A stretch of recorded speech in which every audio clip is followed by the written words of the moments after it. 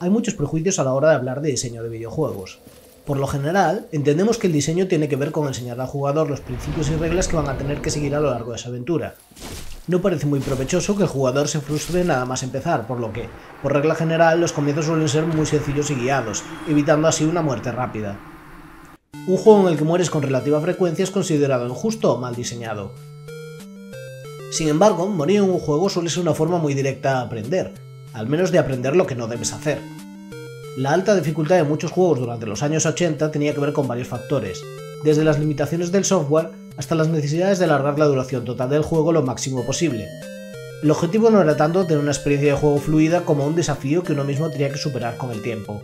Las aventuras gráficas dependen menos de las habilidades y la capacidad de reacción que otros géneros. Suelen ser un medio mucho más de esfuerzo intelectual y puzzles con cierta lógica. La realidad aplastante es que muchos hemos avanzado en aventuras gráficas por el muy científico método de probar cualquier ítem con cualquier elemento interactivo hasta que el juego diera algún tipo de respuesta. No es nada de lo que avergonzarse, el ensayo error es otra forma de aprender. Sin embargo, cierto sector de fans de las aventuras gráficas han visto la muerte en ellas como una penalización demasiado severa. Incluso con sistemas de guardado, la sensación es que un mal paso rompía el ritmo de ensayo-error y generaba frustración. El gran problema es que muchos puzzles de aventuras gráficas son imposibles de deducir. Que nuestra ignorancia sobre las normas que rigen este mundo sea castigada con un game over se ve como un acto de crueldad por parte de los diseñadores. Shadowgate es la tercera entrega de la serie Mac Adventure que, como su nombre indica, fueron desarrolladas para Apple II en 1987. En este juego interpretamos a un héroe enviado por el mago Lakmir al castillo de Shadowgate, donde un hechicero malvado está a punto de despertar a una bestia apocalíptica. Nuestro objetivo es atravesar el castillo, encontrar el arma que derrota al hechicero y evitar el fin del mundo. No hay mucho más, es, en esencia, un escape room, un escenario lleno de trampas, pasajes secretos y llaves con los que abrirnos pasos hasta la última pantalla. No tiene el prestigio de un juego como Myst y otros juegos con un concepto más artístico y elevado, pero tiene su propio carisma, similar a leer un libro clásico de tu propia aventura.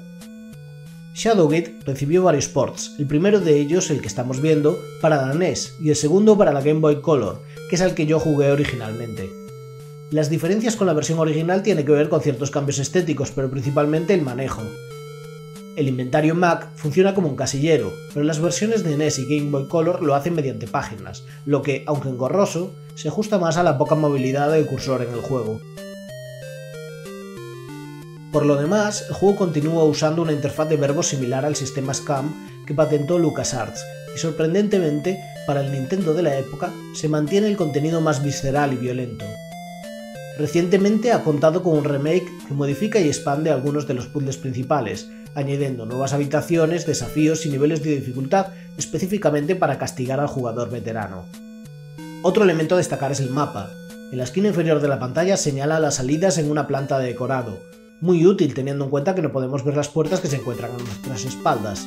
Es cierto que también tiene algún que otro truco como, al menos, una ocasión donde una entrada no aparece en el mapa y otra en la que tenemos que crear nuestras propias entradas antes de que sean accesibles. Además, otras puertas pueden estar abiertas, pero eso no significa que no nos vayamos a encontrar con un obstáculo mortal de camino a ellas. Pero la principal dificultad del juego no reside en las múltiples trampas y muertes que nos esperan.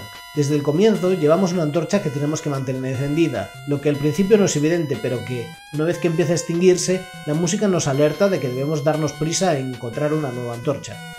No hacerlo implica quedarse a oscuras y morir, Recoger todas las antorchas que vemos por el castillo se vuelve una obligación, lo que actúa como un temporizador para terminar la aventura. Por suerte, la versión de Nintendo permite reanudar la partida desde la habitación anterior a nuestra muerte e incluso salvar el juego. La dificultad se ve mermada, pero no hace menos frustrante tratar de entender algo de la lógica de los puzzles, que no son para nada obvios. Es posible llegar hasta el final del juego sin tener el arma adecuada, o dejar inconsciente a un cíclope solo para volver al mismo patio y encontrar que recupera la conciencia, porque no se nos ocurrió previamente degollarlo. Esta sucesión de muertes es su principal atractivo, incluso cuando fracasamos, lo hacemos de un modo que resulta no solo didáctico, sino también interesante, con cierto sentido del humor a nuestra costa. Nos lleva a pensar que deberíamos haber previsto algunas cosas, o que los diseñadores de juego están tomándonos un poco el pelo. Hoy en día son más populares los juegos troll, que se dedican a sabotearnos, pero Shadowgate es mucho más amable dentro de su sadismo, es imposible llegar al final sin haber muerto al menos medio centenar de veces, y eso es lo que hace que la victoria final sea más satisfactoria.